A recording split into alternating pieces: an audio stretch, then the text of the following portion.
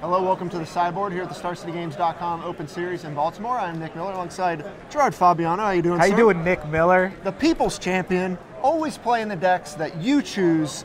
We wrote about it this week. Yep. You've got an awesome looking Esper deck here. I don't even know what to call it. We're going to call it mid-range. Sure. Just because we're running out of names at this point in the standard format. Yeah, definitely an Esper mid-range type deck. I wrote about it on Star City Games, and a lot of you guys actually commented on it. And I, I took some of your input and I tested it last night, made a few changes, but the base is definitely the same. Now, last time we were in Baltimore, you did the same thing. You played what the people wanted. We Yeah. deck teched. You won the tournament. Yeah, it was Sultai. I mean, this time I don't know if I'm going to win the tournament. It's it's definitely tough, but uh, I'm going to try my best. So yeah. Not with that attitude. You got to say we're going to well, win. I'm definitely going to win. So you know, fast forward 20 hours from now, Nick's going to be like, Yeah. "Congrats." So, handing you a sixth trophy or whatever. yeah, that'd be good. Yeah. Okay. All right, so the deck here, Sure. not quite a control deck, even though you've got planeswalkers, but the thing that, that draws my eye immediately, you have Seeker of the Way and Ugin, the Spirit Dragon, in the same deck. Yeah, there's definitely a wide gap. You're starting on basically turn one with Thoughtseize, and you're going all the way up to uh, turn eight with Ugin. Ugin was a new addition to the deck just because I know there's going to be a lot of Abzan mid-range decks.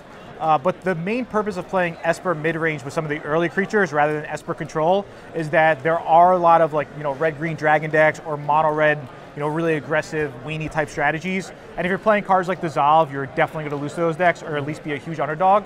But now, when you're able to play like a Seeker on turn two and a Brimaz on turn three, those mono red decks aren't going to really stand a chance, I think. So, Yeah, one thing that the Esper Dragon decks and the, the control decks of this standard have we have seen is just they kind of fold to that mono red yeah, strategy. and they also like normally fall behind a lot. And I'm not that comfortable with only having Dragon Lord Ojutai as a win condition. That's why I wanted to play Sorin, Ashiok, Elspeth, um, and along with you know Seeker Ways and the Tasigur. So I wanted to really diversify my threats.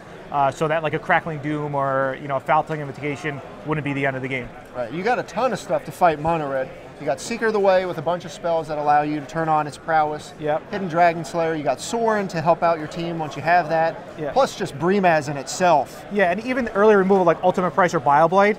Uh, so you really want to be able to control the board against mono red and then land like something big that they can't really deal with, uh, and then take over the game from there. And looking into the sideboard, when you're bringing in Arashin Clerics, Drown in Sorrow, uh, additional Ultimate Price, even a Stratus Dancer, your matchup versus the aggressive deck's going to be really good. So, Other threats, of course, Ojutai and your Tasigur there to close out games. yep.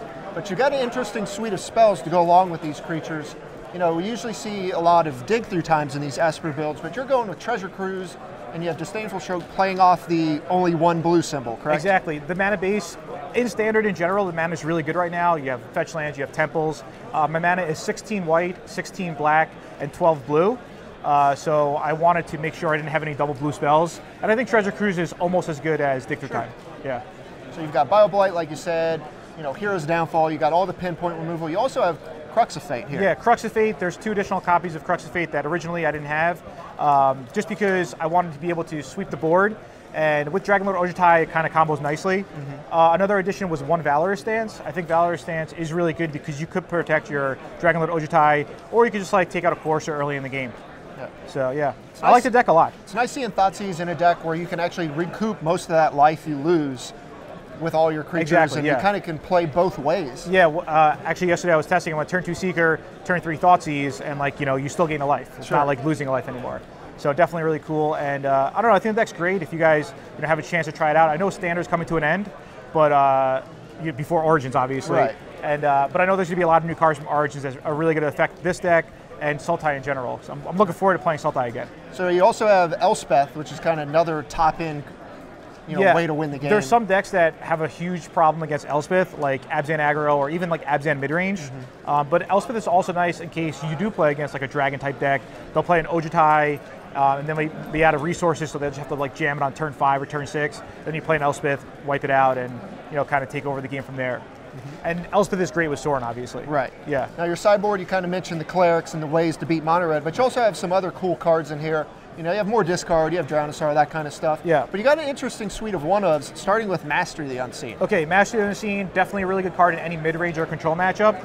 Uh, just if your opponent's not doing anything and you have extra mana, you can start making guys. And like somebody commented in my article, it's another form of uh, attack. Sure. You know, you could attack them with Ashiok, you could attack them in the air, or you could kind of outgrind them with Mastery of the Unseen. And you could gain life too from, with it. You have Yeah. so many you know avenues of attack that they just can't shut it down one way or the other. Yep. And we've seen one of the cards that really hurts the control decks is Mastery of the Unseen. Of course, yeah. Uh, then there's one Dragon Lord Silumgar. Uh, that's really good against like any deck with Planeswalkers or any big deck. They might want to you know tap out and do a Dragon Lord uh, Atarka, Sure. and then you can just like steal it or whatnot. Uh, then there's an Utter End to kind of handle some of the Whip of Erebos Yeah. or just anything in general. to catch all. Yeah. Uh, Stratus Dancer comes in against control and against mono red, and then there's an additional ultimate price again against any you know creature type strategy. Okay. So you've been working on the deck for about a week now, talking Yep. with the people. What are your good matchups and what are kind of the tougher matchups? Uh, honestly, I think every matchup is 100%. So definitely play this deck. Yes. Um, and maybe your bad matchup is like a vintage type deck. sure. They're going to combo you Anyone on turn playing. Black Lotus? Yeah, if they're playing Black Lotus, you know, if you bring this to a vintage tournament, you know, maybe go like 4-2, maybe 4-1-1. Otherwise, if for standard, you're good. I like this deck. All right, I like Yeah. it. Deck looks sweet. We've seen your track record of playing these kinds of decks before, so thanks for joining me here in the No problem. Give me a hug, Nick. Come on. Give me a hug. Ah. All right. Good job. Good job. All right. Stay tuned to StarCityGames.com all weekend long for the action here in Baltimore.